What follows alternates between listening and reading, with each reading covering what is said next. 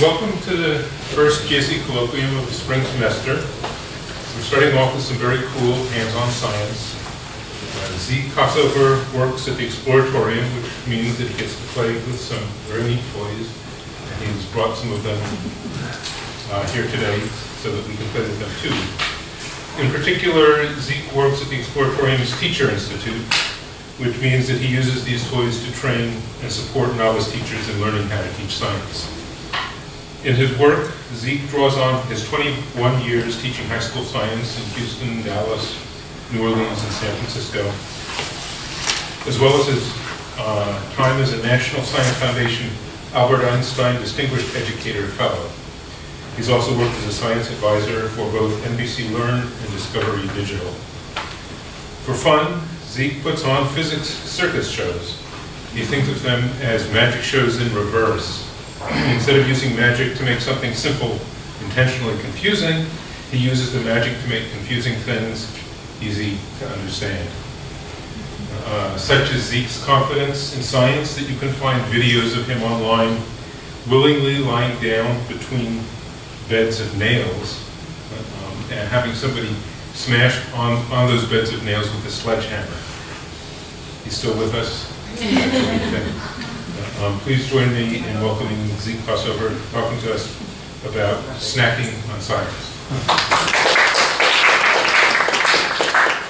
I also walked barefoot on broken glass. um, but so far, so good on that one as well. Um,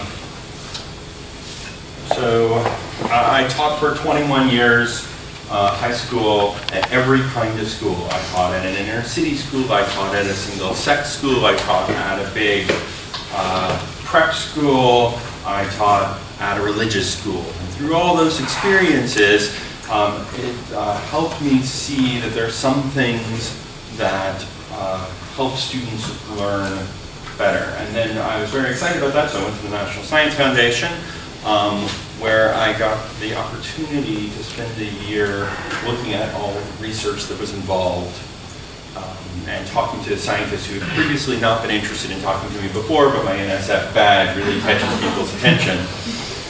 Um, and so the I so one of the things that NSF was really focused on at the time um, was trying to create or discover high quality activities for students. And I had already done some work at the Exploratorium and I was thrilled that they looked at our science snacks, our, we call them snacks, they're science activities, um, as being uh, some of their, um, they often use them as exemplars for other grant projects. And that's fantastic and makes me very excited and very pleased by that kind of response. Oh, maybe you want to know why they're called snacks. So the Exploratorium was founded in 1969, um, and its original founders and, and, the creators of it were, were open source people before open source existed. And so other science museums around the world would say, how do we build this exhibit? And they got tired of telling people how to do it all the time, and so they decided to publish a book called the Exploratorium Cookbook, Recipes for Making Exhibits. In 1984, a group of teachers came to the Exploratorium and said, you're a fantastic place, you should do something for teachers. And the Exploratorium said, that sounds like a fine idea. What would you like us to do? They said, well, we'd like you to make, you know, show us how to use your exhibits in our classrooms. And so the Exploratorium said, that seems like a great idea. And so what used to be, there was a, underneath each exhibit, there was a little folder with instructions for teachers. So if you knew where to look, you pull out this folder and there were instructions about how to make the exhibit yourself. But you, of course had to go to the Exploratorium to get that. And so then Exploratorium decided maybe we should publish a book of all the ways you can convert Exploratorium exhibits, make them useful in your classroom. So since the first book was called the Cookbook, the new one was called the Snack Book. And that's why they're called snacks and now bafflingly confusing to try to search for them on the internet. Although they are the Exploratorium's currently biggest, uh, gets the most hits of anything at the Exploratorium except for what are our hours. Last year we got more than 1.4 million unique people accessed the, uh, our, our activities page. Um, anyone want to guess what time of day and week they most often got access? Middle of the night. Huh? Sunday evening between 6 and 8 p.m., whatever local time was for those teachers. And that's how we know they're teachers who access them and not just random other people. So, what I want to do now is look at, um, so, uh, look at how you take these, uh, what I hope are high quality activities and put them together to make a topic to teach your students. Um, how many people in here teach physics or physics, or planning on teaching physics or physical science? One. What's your name? Luis. Luis, your job is to not give away to the game to the rest of the people in here. You're gonna know all the answers. For the rest of you I intentionally picked a topic you probably don't know terribly much about. That way you can be a student. I hate it when people, teachers try to say, pretend to be a student. I don't know what it was like to be a student. I don't remember that far back. I blocked it out of my mind. So we picked a bunch of sound topics. Um, at the end, we'll show you some life science connections so you won't feel totally left out. Chemists are pretty screwed. Oh, sorry. Um, let's do our first. Let's let's get started with our first activity. So let me show it to you, and then I'll show you a picture of it on the screen. So I have here, um, and you all are far away. Come be my friend for a moment. You can go back to your seat back by the snack table in, in a second, but come, uh, come closer. Have the right seat.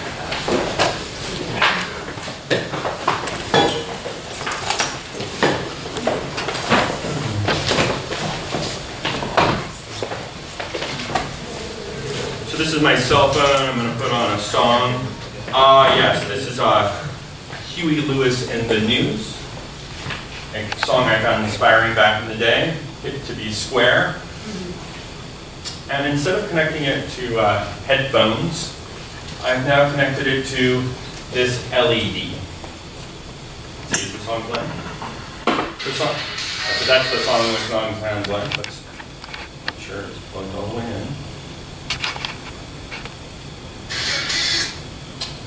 May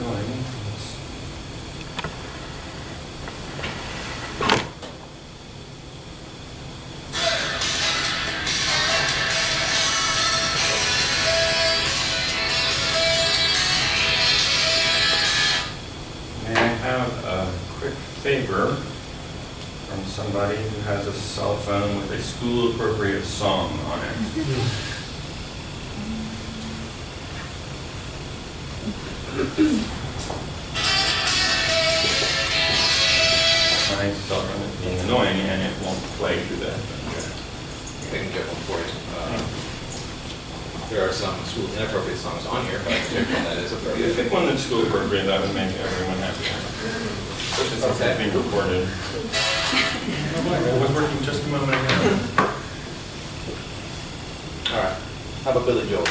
That's good. Thank you for realizing you need to take it out. Great. How do I start? This? Just pick a song. Um, Pick a good one.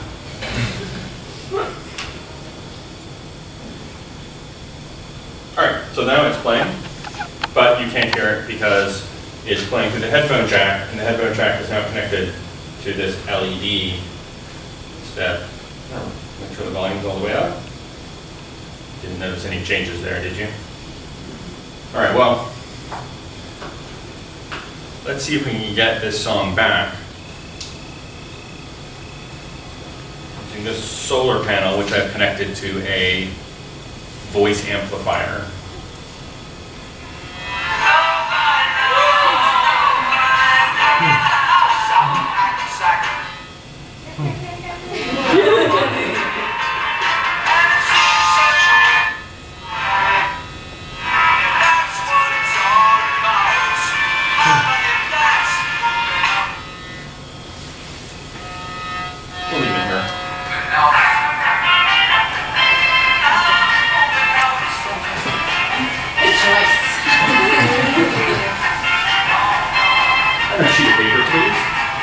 Please write down in words and pictures what's going on in this situation. Use as much detail as you can, you have about five minutes.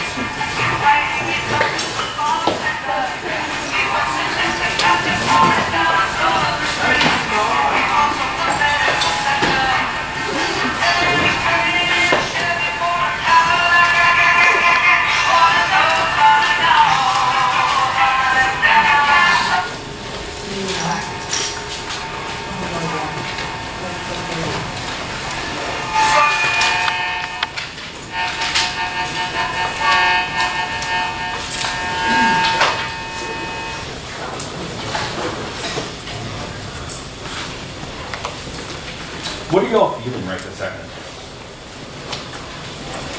Check in with the maze, interested? Do you want to know how this works? Yeah, curious. Curious. Yeah. That's what we want our students to feel like, right?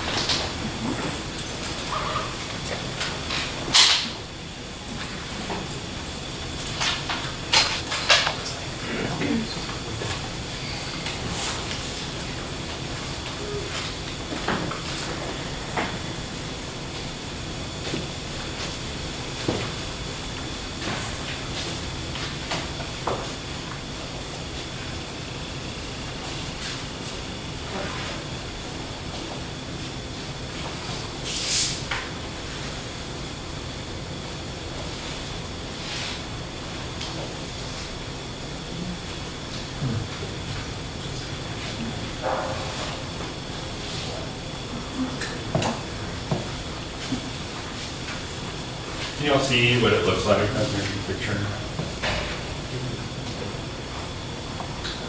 Is there a battery on there? Yeah, there's a battery here. I will, since you all haven't had electronics yet, or this, yeah, depending on where the year, this would be the year, but the LED requires a certain amount of voltage to turn on. So the battery makes sure that it's on all the time.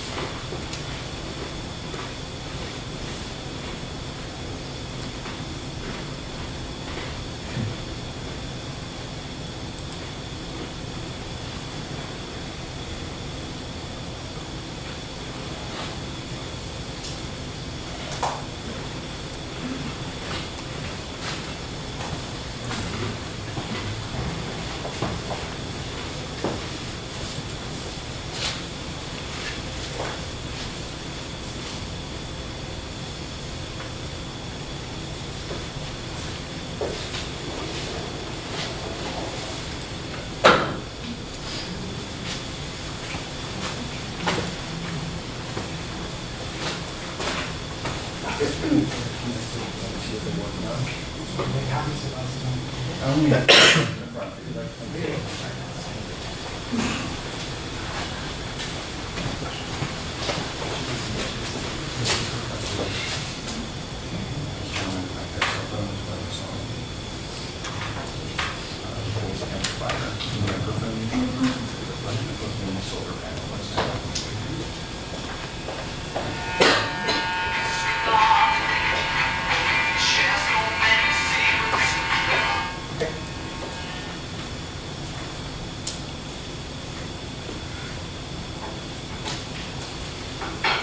Not a radio, this is just, although this does have a radio feature, this is just actually a voice amplifier. Usually you plug a microphone in there and put it over your head if you didn't have a voice. Oh, so the microphone's plugged into that, right, okay. So okay, yeah. And this is, he picked the song on the cell phone. uh, Not my choice.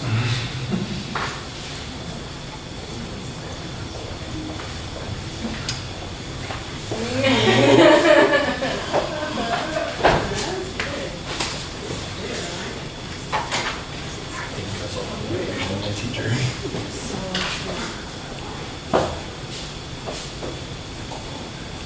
All right, just another minute or so.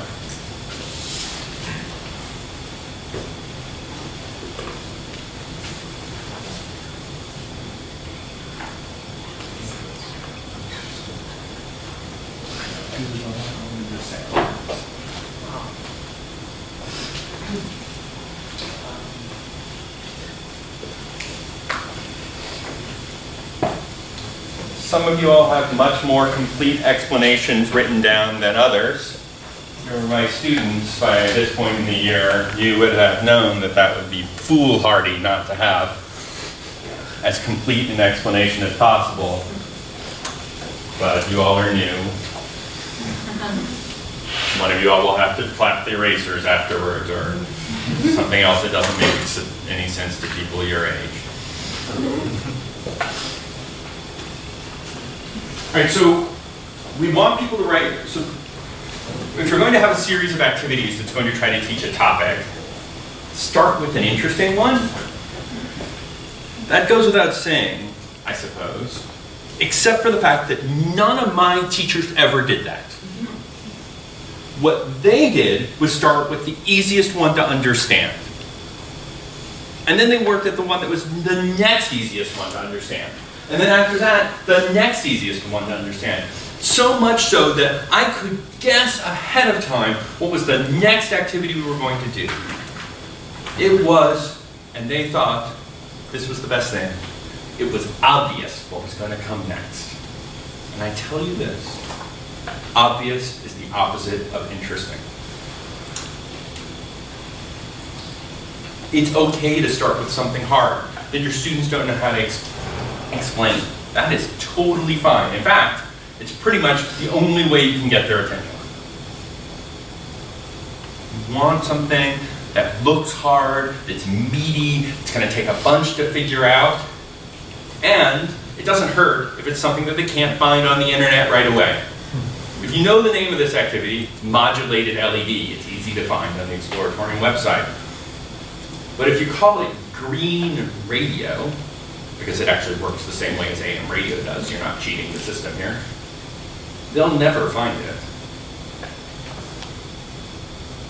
No one else has anything like this out there. And this will be something for them to really start thinking about. All right, so there are lots of different parts to this. I'm not going to, at this time, explain to you how this works. Just like with the students, we're going to go into the next activity. My students are usually very annoyed with me at this moment. They're like, what? You aren't going to tell me? Only through experience can one achieve enlightenment. They're curious now. Curious is what you want.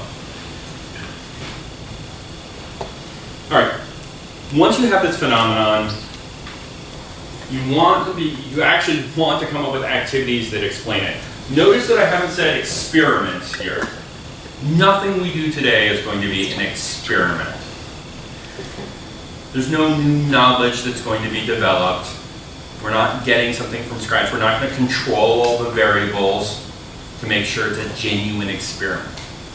Instead, they're activities that give you reasons to believe in things. And some of the things that we do won't even be that. They'll just be some extrapolations. And that's fine too. Um, sometimes we want kids to be scientists, but sometimes we just want them to um, build intuitions, which isn't quite the same thing. Um, we want a phenomenon that will help us decide what activities we're going to want to learn. So some phenomenons are super cool, but they don't have that many activities. So the activities that would be necessary to explain it are way beyond your students. And you'd also like the things that they learn, the activities that go to explaining the phenomenon to be more broadly applicable. That is, I'll say, the other uh, science content that's in the standards or your curriculum at your school. Now, if you're wondering where you get activities from, I will once again note that the Exploratorium has lovely sets of activities for you, more than 260 available for free online. Your tax dollars at work, we have nothing to sell you. When you get your teaching job, you can even come to the Exploratorium for free. Actually, you know, you can always come to the Exploratorium for free. All you can tell them is, I don't want to pay. You know, go there for free. And kids who are truant get to go to the Exploratorium for free too. All they have to say is, I'd rather be here than school, when they get to come in. Anyway, our online, uh, I will, I'll stop advertising for our online stuff, except for one more moment showing you this lovely picture that goes with everything. We have it fully detailed out. Um, All the things you need to make stuff, where to find it, that kind of thing. The, the right search terms, we're not gonna like tell you where to get it on Amazon. Amazon isn't paying us to do that, but we will like give you the right words so you can search for. All right, ready for your next activity?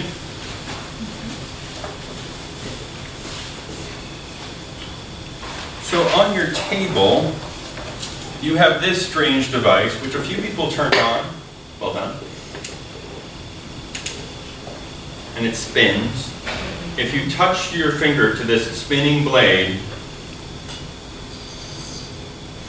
it'll just slow down and stop. Because in a previous life, this was a baby fan. You put it into a baby carriage so that the baby is the right temperature. I don't know what that temperature is because half the parents I see put their kids in like three le- levels of onesies, which I actually think then qualifies as a threesy, but anyway. Um, and the others put fans on their children. I don't know how you can tell. Anyway, that's what this was. And I'm going to give you a little card like this that conveniently fits on here.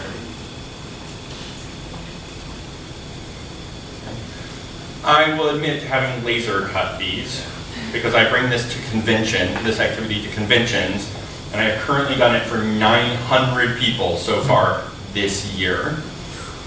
Okay, so I don't have students who can punch the holes in this.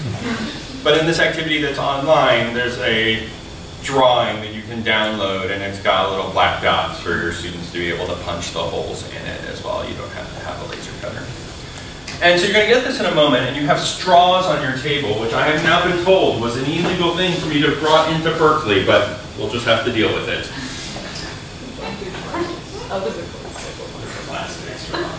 The Exploratorium no longer uses plastic straws. Only the teacher and the only people in the building. So what you're going to do next you're going to put this on here,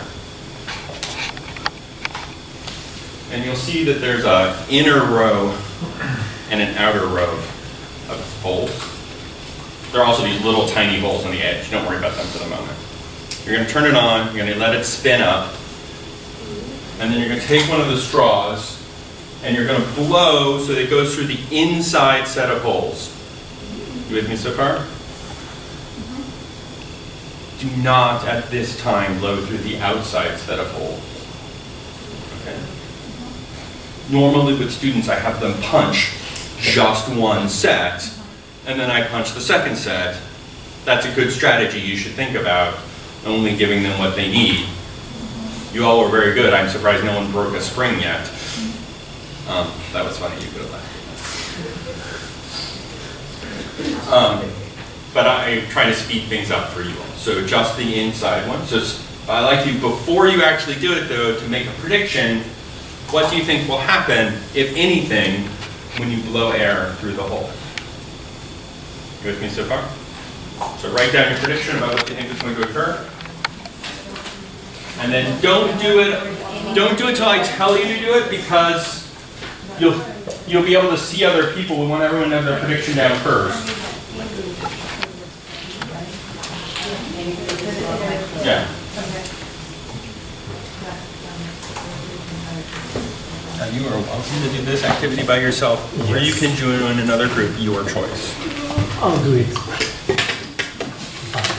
Here's one, here's one that I had the students, the student do, you can see.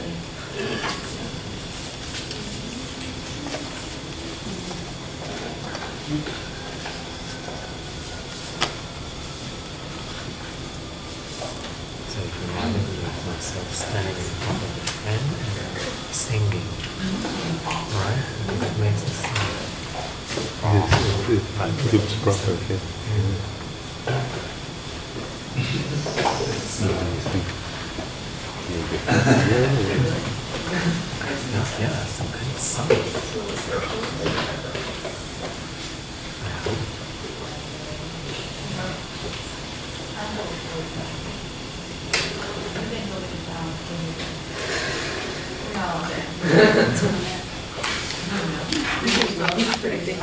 Yeah, still, should be only another minute or so till before you, hopefully everyone will have made a prediction.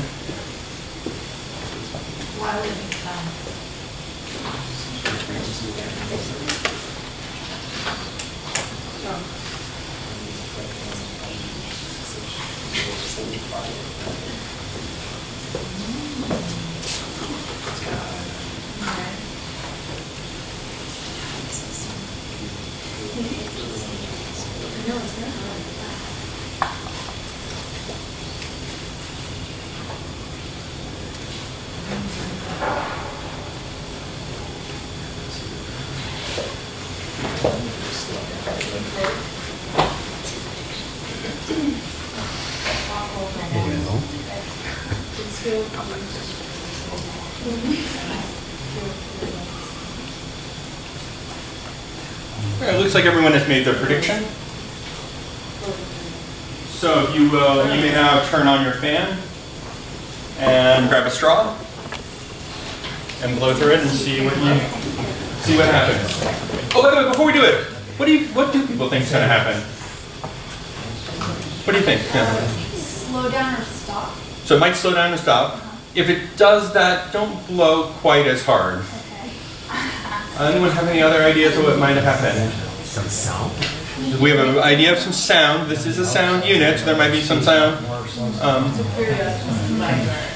so you, is it going to be a periodic sound? Do you think it's going to go wah, wah, wah, wah? Okay. Or like, a, well, so whistle's sort of constant. But like, yeah. So a trill, maybe.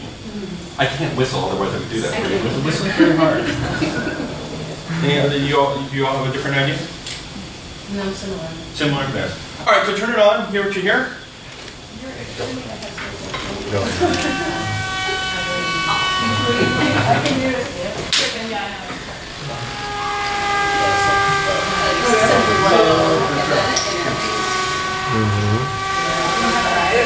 I know. We have plenty of straws. Everyone's straws. But I really want to. Oh, do you really want to do the outside? Yes. She made me. She told me to sit on her shoulder.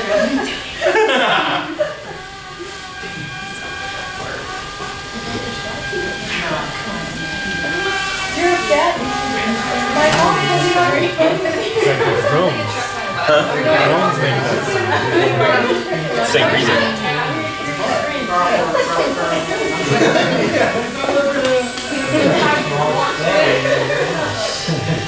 All right, you'll turn them off now.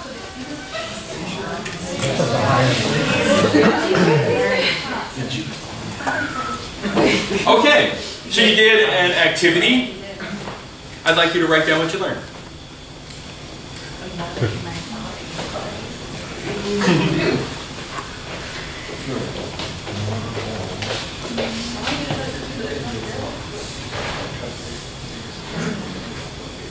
I already like twelve point five minutes.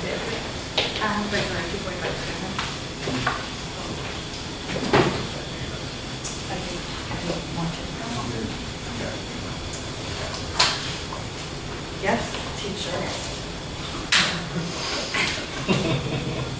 For years and years, I used a sledgehammer as my doorstop because I couldn't bend over. I couldn't bend over till I did the doorstop. But my students were convinced that I had that as like a bad weapon students. student. They would just see it over the door, like over Earth and with it. Like really directed there.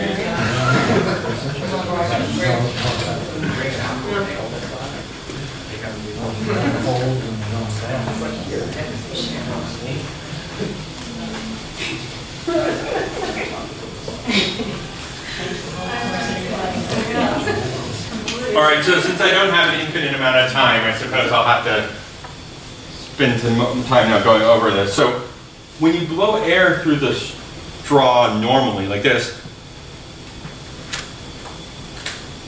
does that make any sound? maybe a very faint sound, but essentially none. Um, what does the what does the spinning disc do? The holes clearly have something to do. They, they, what happens? The air can move, and then what happens? It blocks it.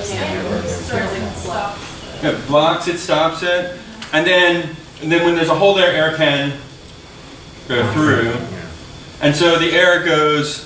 Show me with your hand what the air is doing.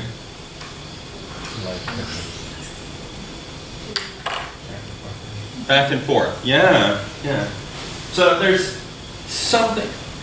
So if there's no sound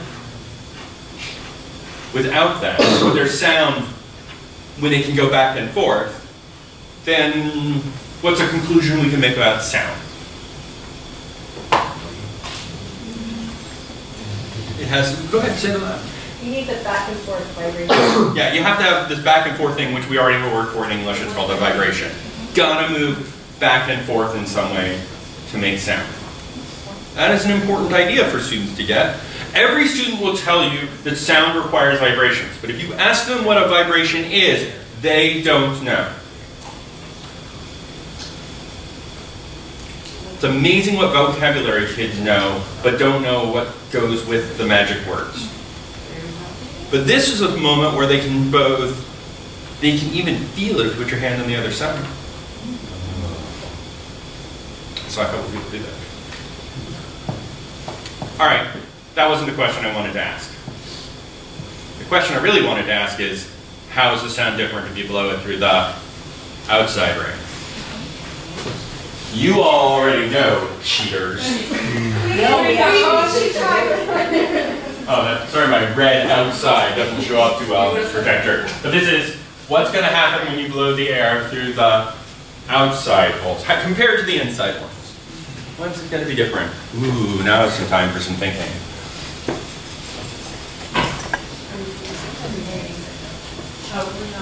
Are we just hypothesizing or are we? Yeah, you're just hypothesizing and then you get to do the experiment. So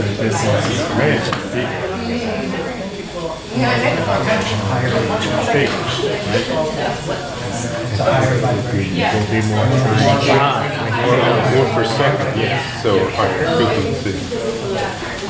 yeah. So it will be like shorter. Higher. That would be And if the holes were different, because vibration has to be the same distance or as long as it's So if they were, if they were close, far, close, far. yeah, close, far. yeah.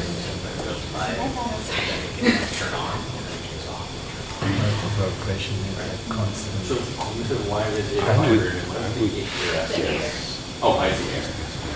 That's good answer. We get two pitches, one for the It's not. close and Sometimes one for forward. the but like this, then it would be The time blocks out. Some of the would stop at. Like if you ruin the pattern. Yeah, yeah. How many people think the pitch will be the same? How many people think the pitch will be higher? How many people think the pitch will be lower? We have three people who didn't vote. That's how Trump gets elected. Thank you very much.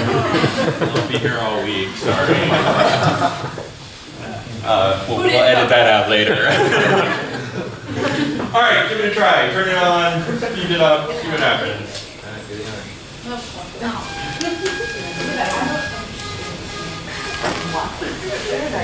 this is, We're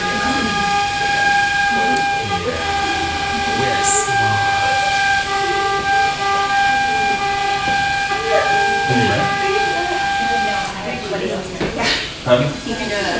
Oh, you already did. You go low, go high. so it's almost an octave.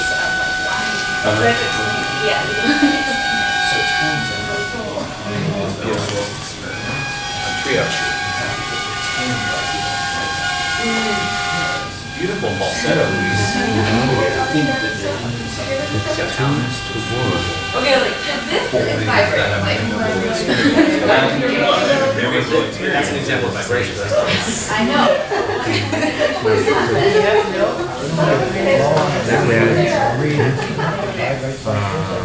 You could tell the sound produced is double as high the previous one. It's close, but it's not exact. And that's, So uh, the outside ring was higher pitched, yes. So a couple of groups fessed up to me that they actually had done it ahead of time. So I'm going to pretend to be mad at you for doing that. Because if you think you just did something that was against the rules and you learned something from it, wow. There's a lot of learning. That's a very memorable experience for you. Part of our goal here is to create memorable experiences. For example, I had a textbook at every school I've ever taught at required me to have a textbook. I never assigned even one page out of the textbook. I didn't teach biology, no, that's impossible. But for physics, never assigned one page. Usually, by about the second test, a student would come up to me and say, Mr. Kossover, is it okay if I use the book? like, it seemed really helpful to me. I'm like, I mean, you got it. I guess I can't stop you from using it, but. and then that student would tell a few other students about the book. And then at least as many kids were reading the book now as when I assigned them to read the book. And at least they weren't, you know, at least they weren't like feeling subjugated by me by making them read it. They read it because they thought it was useful, and that's of course what we want. Also, they read the book at the end of the unit rather than at the beginning of the unit, and we all know that the only time the textbook is in fact useful is when you already know the material. That's why teachers like textbooks. They already know the stuff that's in the textbook. But a textbook's a great way of taking a bunch of ideas that you have in your head that aren't really well organized and organizing the ideas. All right. So this thing is called a siren disc. It was invented in the 1800s. I'll give you a little bit of history. I don't think the history. Of, I, I got a degree in the history of science, but I don't necessarily think it's useful for teaching. But it is sometimes interesting. Um, this was the first way that people knew what frequencies they were singing. So they've known since Pythagoras' time, the Pythagorean theorem guy, long time ago, they've known that relative pitch, that an octave was twice the frequency of the octave below. But they didn't actually know what the frequencies were. They took a big brass disc in the early 1800s, drilled holes in it all the way around. They finally had clocks that could keep a, se a second time very well. Someone would crank that, see how many times it went around in a second, blew air through it, knew what frequency that was. Matched it, changed the speed, matched people's voice. First time, knew what frequencies it actually were. Caused all sorts of ruckus in orchestras. They settled on 440 hertz as being A, the A above middle C for those keeping track at home. Then different orchestras started going a little bit up, a little bit down. Turns out the higher you go, the louder you sound. That made orchestras happier. Also made the sopranos unable to keep pitch. We'll talk about that later, why that's a big deal. And why if you start going up, it's harder for singers.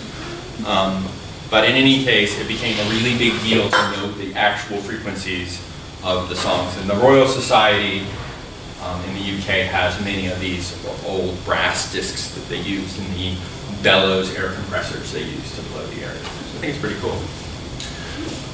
Y'all also noticed that you can control the frequency not just by the number of holes, but by how often the holes go past. You can slow it down with your fingers, right? So there are two different ways that you can play with the sound. With your fingers slowing it down, it's hard to get the exact frequency, but you can hear relative things. You hear it as it slows down, as you put your fingers on it and it slows down, what happened to the pitch of it? Got lower. Let it go, it gets even faster. What I bet you all are dying to do at this point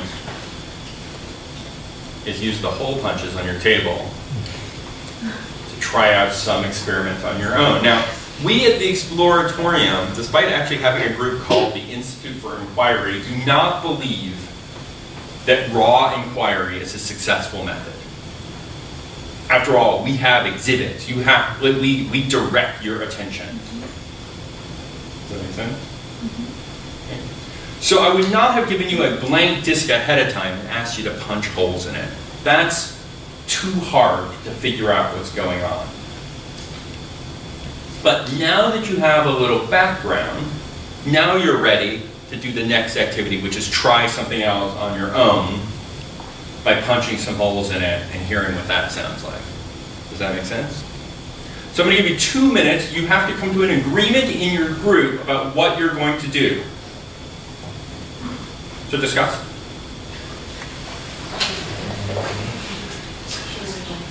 Yeah, I think do uh, non-pattern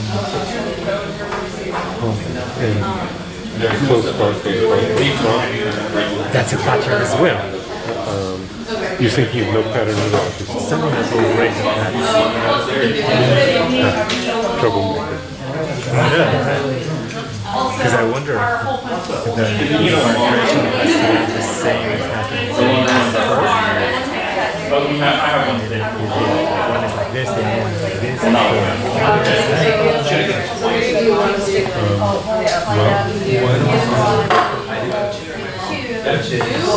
You can have that. Yeah, there's lots of Oh, we're doing this.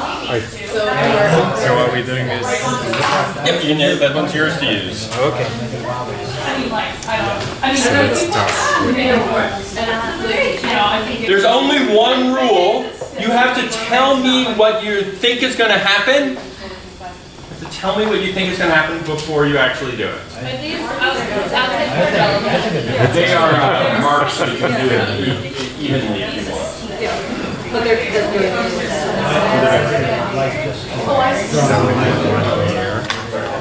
Yeah, those are just.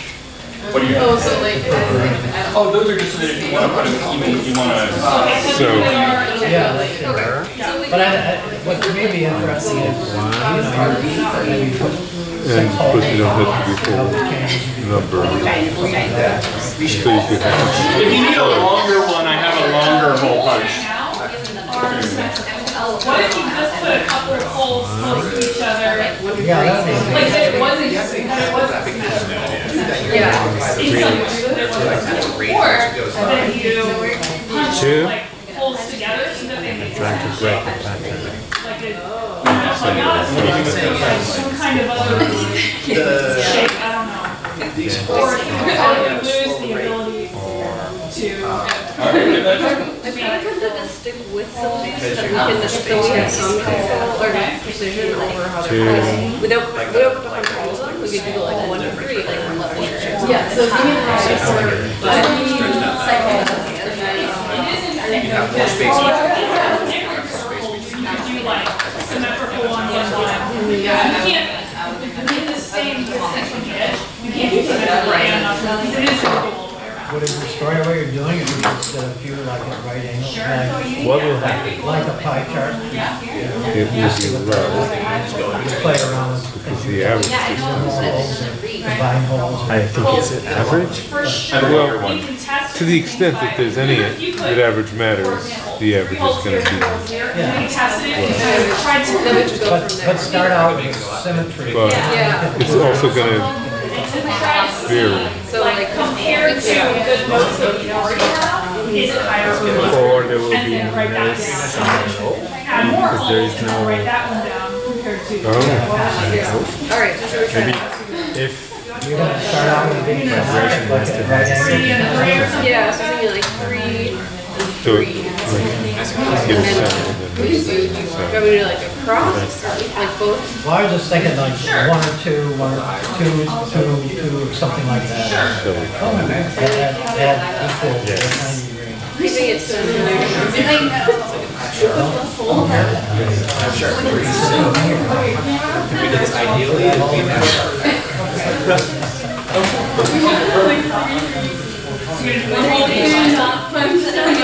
We can talk about it. Somebody said three. They can do two, how we have to tell it. yeah. you have to tell them before? Yes. We want Sure. And then next week she can make a song.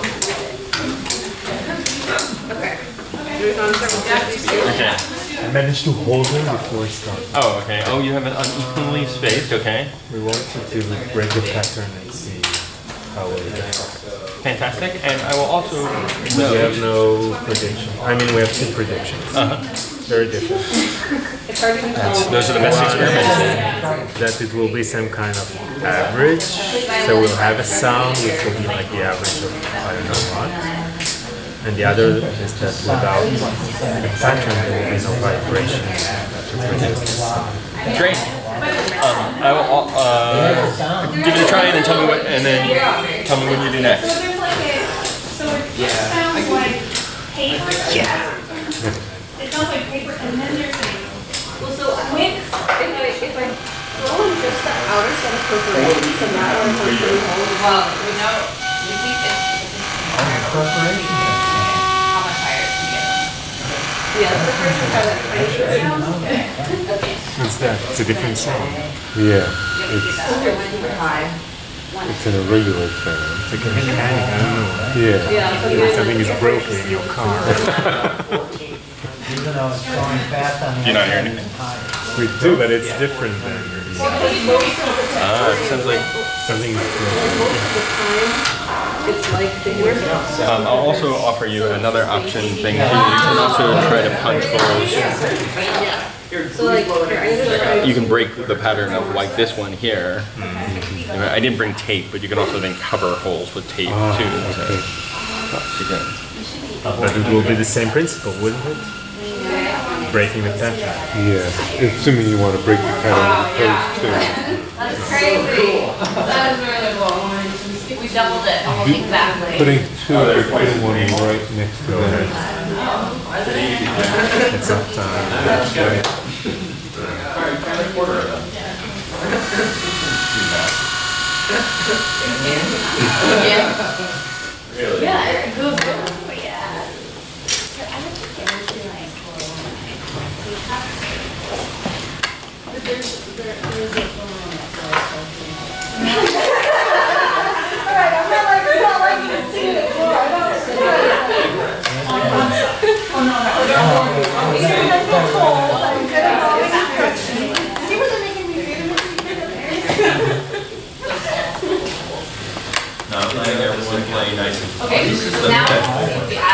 lot of them. more. Yeah, it's a little higher because the the it really but it's hard to see where it's about to come.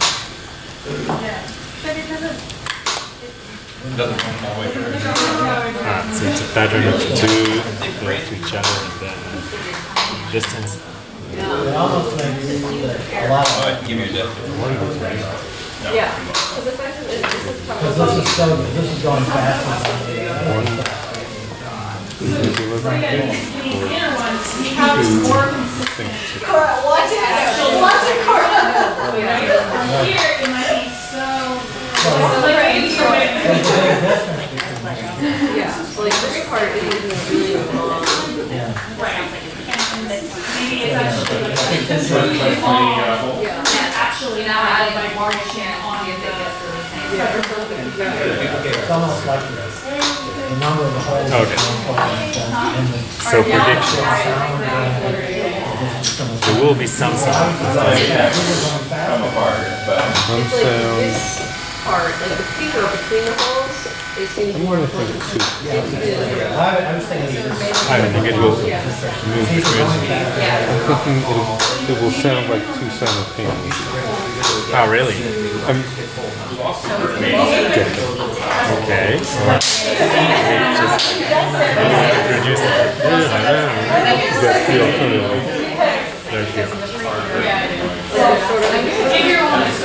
just what makes it vibrant, back. So, when you're hitting a hole, it's just like strong, it's just like when you're the paper, it back. So, Maybe simultaneously. but it's definitely. Yeah. Sometimes Lower. Does that pitch, if there's something else in Even though there? we were getting very So- clear sound, there was some, so I said some. So the next thing we could. Ladies and gentlemen, I'm going to have to interrupt you at this time. We have to move on. There's that little, there's a little But- noise that's going on. Is that- that's not what you're- How excited are you to try stuff out at the moment? Every kid wants to do a bunch of experiments. They start off doing lots of stuff at random. Not very systematic about it. But the second time they have to cut out the disc and punch the holes in it, they get systematic. Make it a little bit harder to do the experiment. They're like, well, I don't want to have to cut a whole disc out again. What do I need to know? So they learn things, for example, that it's the the disc goes around once, like so the the radius doesn't matter. They don't want to cut more out than they have to. Only the number of holes for one circumference is the big deal. They learn that to do to uh, do an experiment that doesn't interrupt the next experiment. They plan, I believe this group was doing that as well, or talked about that. They plan, they plan out a couple of experiments, and they go, but if I do that experiment first, then I can't do the other one. But if I start with fewer holes and then go to more holes, it's great watching students figure out how to be scientists because they're lazy. right? But we can use that, that property of them to your advantage and they will start doing it. The other thing that they will do, if you give them enough time, and it just depends on whether or not you have the time to spare, but if you have a couple of days, they will forget what experiments they've already run. And that's interesting because they'll have to do that. When you come up to them and say, you offer a scenario and they'll say, I've already done that one. And then you'll say, okay, what happened? And they'll stare at you. I don't remember. Well, that must suck. You're going to have to do that again now. And then they'll say, I should have written that down. Totally up to you. Do whatever you like. Uh-huh. Next time they'll, they'll write those, they'll start writing those down. If you make it important for students to write stuff down, they will write it down. If you tell them they have to write it down because I tell you that you have to write it down, kids are defined by nature. There's a musical called The Fantasticks. Before you have your own children, you should definitely watch it. It's from a long time ago, but you should still watch it. Take it from someone with grandchildren. Um, I guess we have to move on. Uh, I will point out this, this is a snack. Everything here is very inexpensive. It's cardboard, it's hole punchers, it's baby fans. They cost, you get two for $9. Or you ask around to your friends or actually use Nextdoor for some useful purpose and say, does anyone have a baby fan? They don't need it anymore.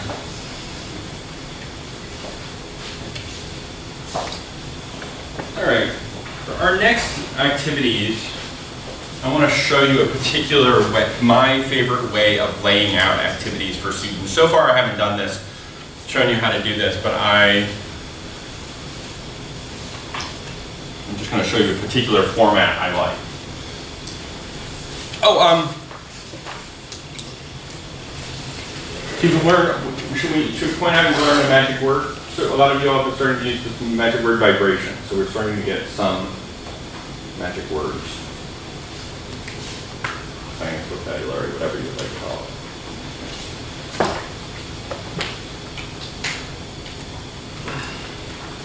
Uh, normally with my students, I would not give them all of these sheets all at once. I would only give them one at a time. I don't trust you all, but they came stapled. I wasn't going to unstaple them.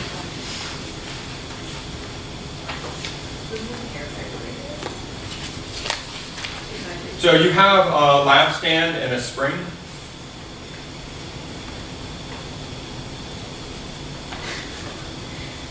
So in the place where it says your idea, so before you talk to your group, you're going to pull this down and you're going to see what happens. I'd like you to write down what you think is going to occur.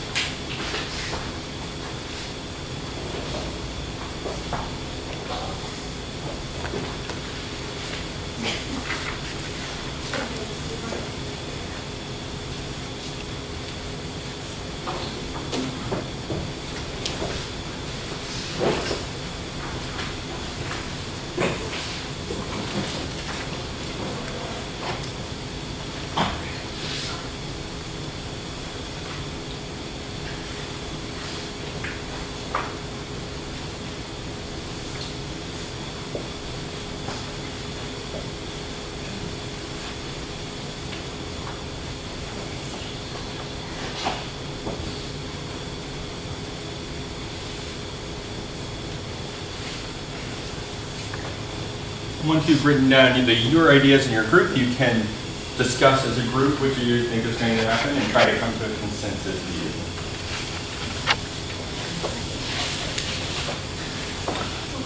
What will happen?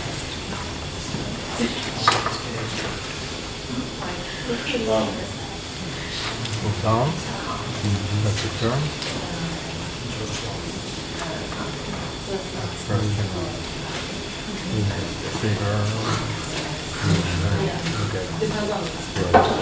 I'm thinking, I'm thinking it'll go only a few times before. So I'm thinking somehow, it's pulled straight down, with not being tilted to the left or right at all. It gets That is bigger. not center, then it will And go there'll up and down, more but it's not exactly inside the banana now. And Larger movements. Small movements. I think it'll stop and then we can catch it. Certain point of view angle. Heavy. Stop to like Yeah, so it was, that's how it was before it was pulled down, that's where it was stopped after. So it's starting and it's in any position. Well, it's This format where I have you write down your own ideas and then you discuss things with the group, of course, is very important. Because some people won't have a chance to think if you go in straight to the group. It's always important to give people the chance to do it on their own. Not every person though wants to be the most outgoing, so I don't make students respond if they don't want to. That's, I think, fair. Um, but then they can talk in their small group with each other to try to come to a consensus opinion.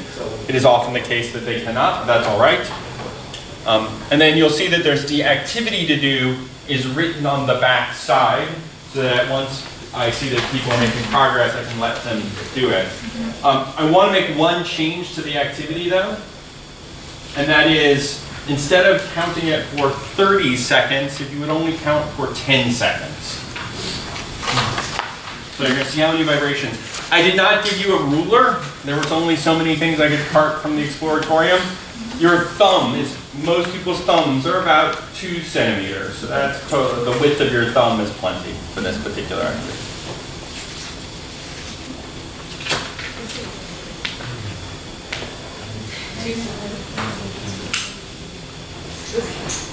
This way? Well, it is on me. Maybe you'll have, it doesn't matter as long as you do the same number. Can we do it? Yeah, you can go ahead and do the activity.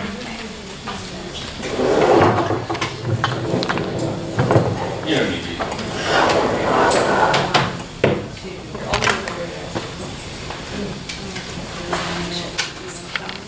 Sorry. Yep, you can put them all on.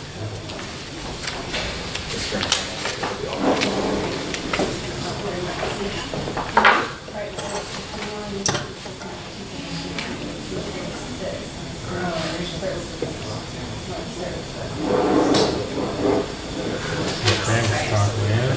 don't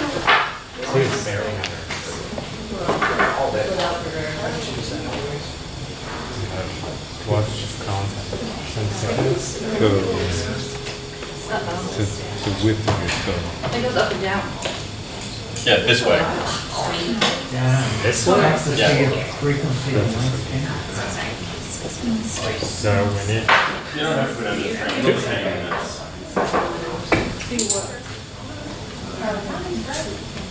Where do we so go? we need two like this. This little. So yeah, so you're gonna want a stopwatch to start for 10 seconds. Feel free to use your phone.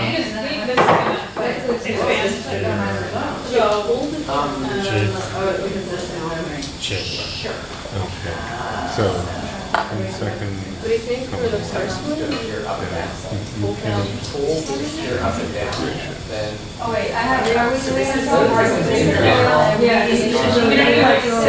Yeah.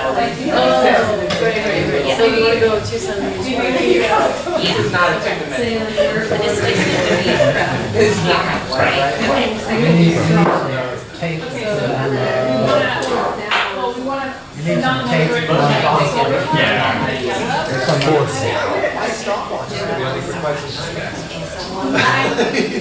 you need some tape. Yeah. Days are. Those are the hours. Okay. Oh, he said, um, I've done that before, but I've never done it.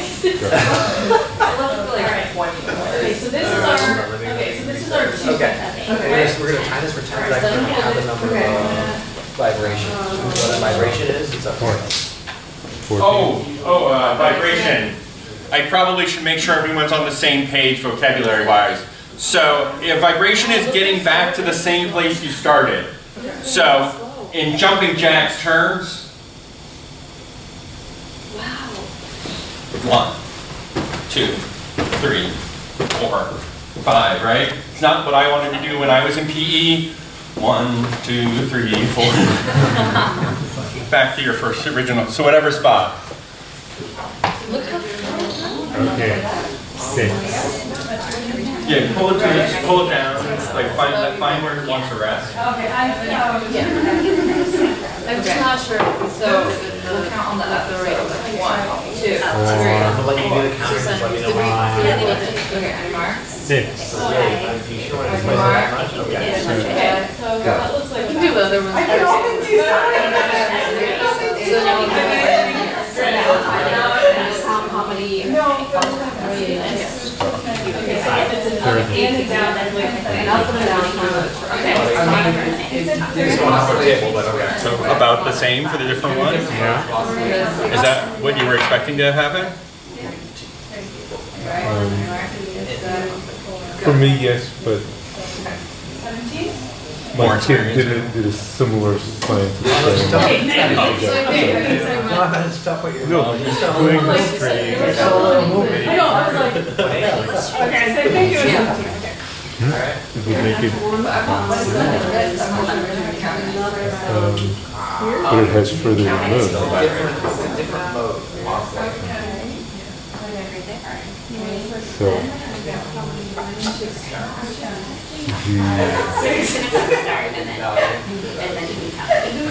Wait, hold.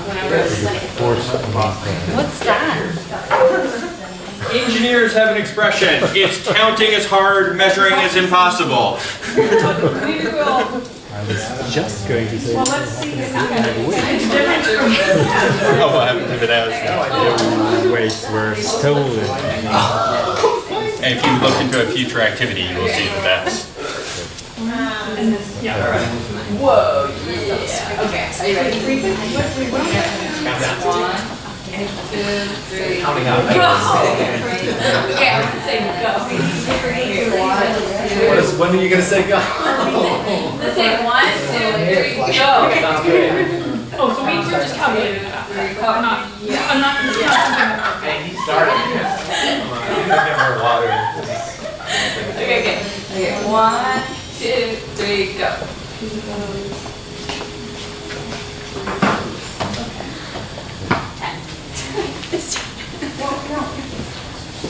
Okay.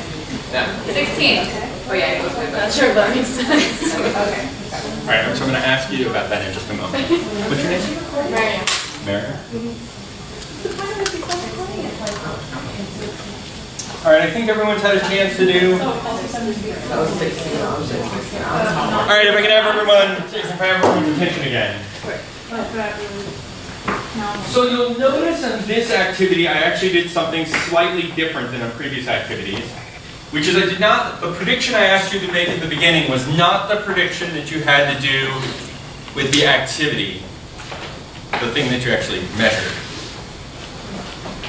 You all are very different than high school students and middle school students because they come up to me and say, I got the same number each time.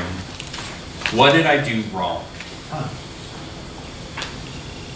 They are convinced.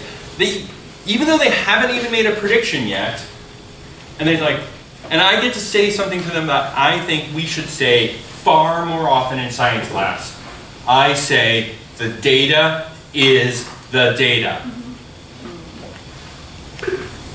That's what, we took measurements, and that's what we got. Gotta use them. We figured it out. Now, this lab was careful, by the way, that is what's supposed to happen. Turns out the amplitude doesn't matter. You pull it farther, it gets pulled back harder, so it goes more distance, but it goes faster over that same distance. Exactly balances out. Until you start breaking the spring, which you can do. Okay? But, what if I had you to measure the amount of time it took to go 10 bounces? They'll never be the same more than once. Because pressing start and stop on a stopwatch has reaction time. So this was carefully arranged by having you do the reverse. That will come out right. You'll get it within one or two. Like they'll be close every time. That's the subtle sort of things you have to be looking for in an activity. Does that make sense? Right. And so then students find out that the amplitude doesn't change the frequency. So that's my little background about this activity. Now, but we're supposed to be talking about like sequencing activities.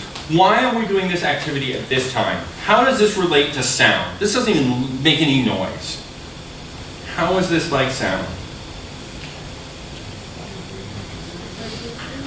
Vibrations, what is, what is the, the spring goes up and down and we said the air went in and out. What's the problem with doing an experiment with air? You can't see the stuff. What can you do with this? You can see it. And it goes slowly. Students often want to do it with, we skipped an activity that I usually do with students with a speaker, looking at the motion of a speaker cone. But they are all too fast to see. So we need something, we need to slow it down. So we're making, so this is our model so that we can see something that's moving slowly. By the way, even with high-speed photography, even with the high-speed mode on your phone cameras, they're not fast enough to see even the slowest moving speakers. The frame, you have to have between five and 10 frames shot of video for every, uh, for per hertz of frequency that you want to look at. So like the low string on a guitar is 80 hertz. So you need to have a 400 frame per second camera to see it. So it's really, really hard to catch this on high speed. Um, there's a group in Australia that does this. You can see like how the, like they explain how difficult this is. Anytime you've seen it on YouTube where they send, that's all has to do with the, that has to do with the way the camera takes a video, um, which is not important to discuss right now, but it leads to weird artifacts in the video that make it look like that you think you're getting out of it, but you're not. All right, so we could have, when I learned sound when I was a kid, we started with this activity. But this activity was not meaningful for me in sound.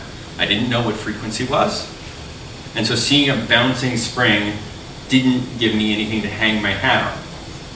But if you've just done this activity here, now what do you have? You have something to compare back to.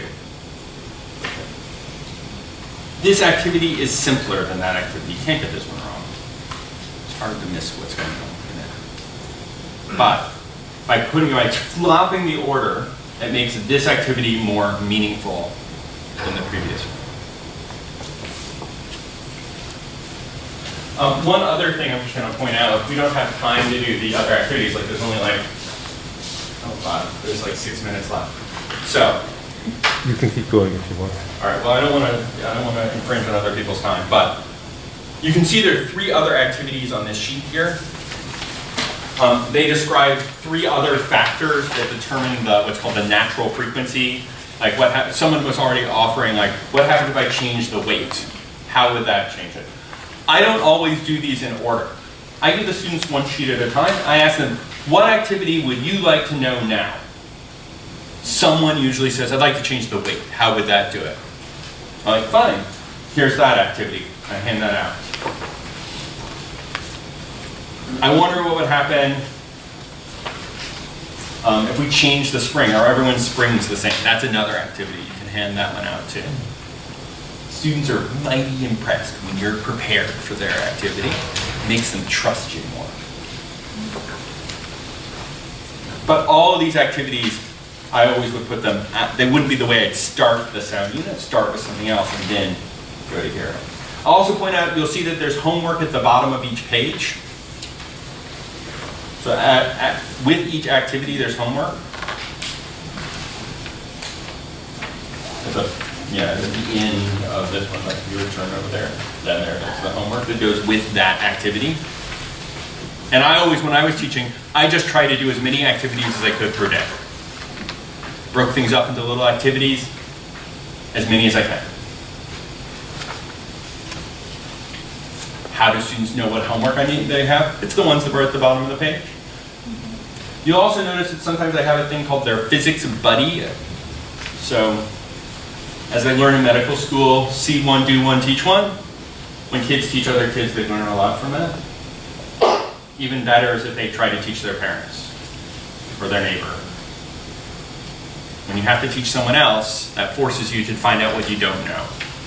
So I was saying at the beginning uh, to Lloyd that one of the biggest problems for students is knowing when they don't know things.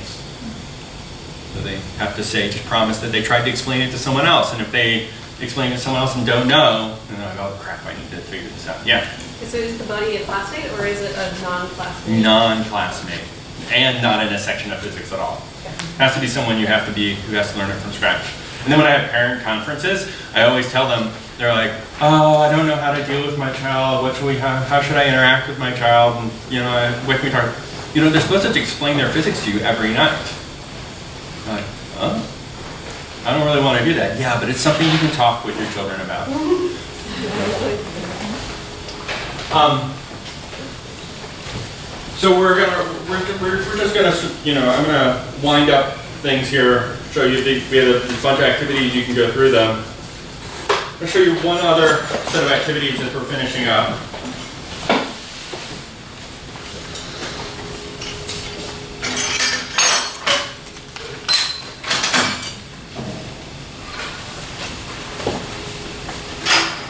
When we, this would be much later in the course, as now we're starting to get involved in how musical instruments work.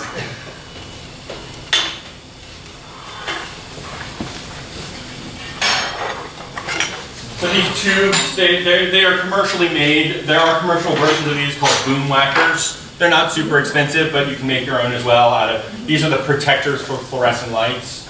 Do they make a noise? I don't know why heads are the best thing to hit them on, but. These are tuning forks. They make noise too. The SPCTF would like to tell you, that's the Society for the Prevention of Cruelty to Tuning Forks, that they work the best when you hit them against something that's soft. Like the bottom of a shoe works really well. You can actually put quite a lot of arm into it as long as you hit it against something soft. So hear them. Make sure everyone in your group listens to them. Hear this. Your tuning fork. Yeah.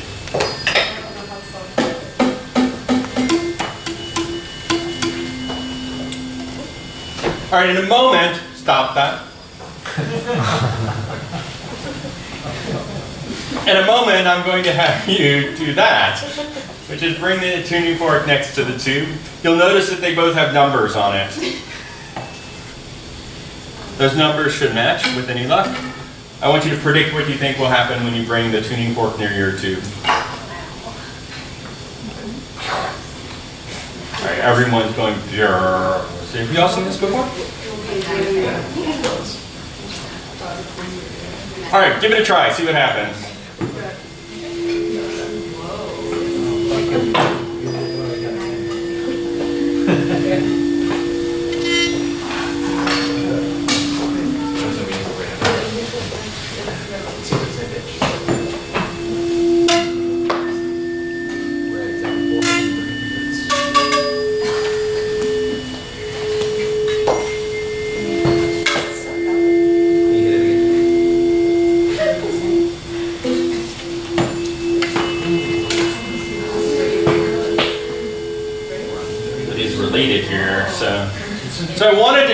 This part because there's a, what would happen, so this is a 341 tuning fork, this is a 341 tube. If I bring them next to each other, it's louder. What tuning fork do you have? Can I have your tuning fork? So this one's only a 288 tuning fork.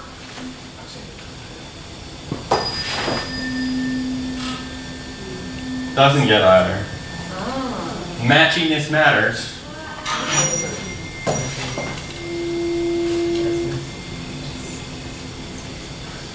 They have to match. That's called resonance. We don't have time to do all of this. But you want a toy to take home with you? I can't give you these. But I do have some, a toy, a take-home toy that you can play with. Anyone know what these are? Head scratchers. They're head massagers. They feel really odd. Here, take one.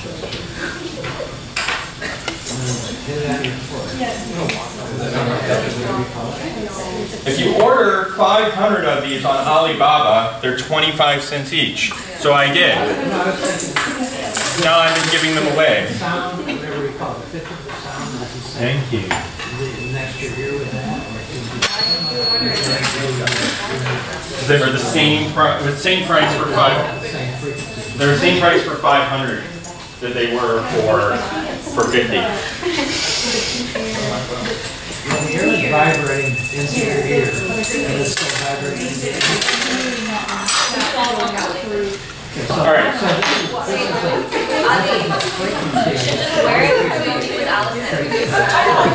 Uh, yes, you'll be able to, uh, you'll be able to get the, uh, all right, anyway, hold it in your hand like Is this.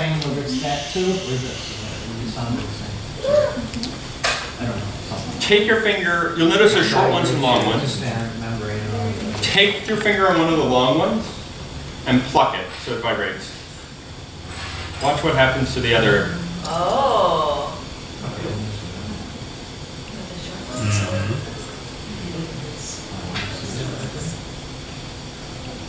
Pluck one of the short ones. But it doesn't make any sound. Oh, That's, that's the same vibration. Matchiness matters. What if you bend one or add clay to one to change its length or weight? It'll stop vibrating. Uh, you'll have to do that on your own. Oh yeah, this one's not vibrating now, it must be longer. So if you would like to have a link to these activities. Oh no.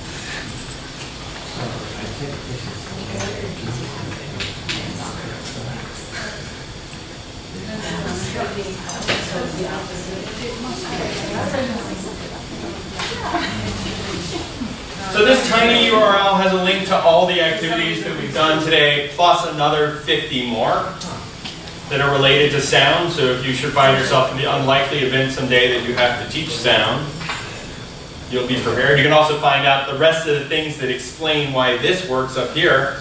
We never really finished explaining that. Yeah, we have to. So if you want to stay after, you can learn how that works and how you can snoop on lights. Hear how what the noises that lights make. Um, if you have any questions, I'm happy to chat with you. I have that's my email address. I dived and went to teacher heaven. I've got plenty of time to chat with you. If you have any questions, um, feel free to drop me a line. And if you ever want to go to the Exploratorium, I might know someone who knows someone who can get you into the Exploratorium. So come on by and visit us. Thank you all. You've been great.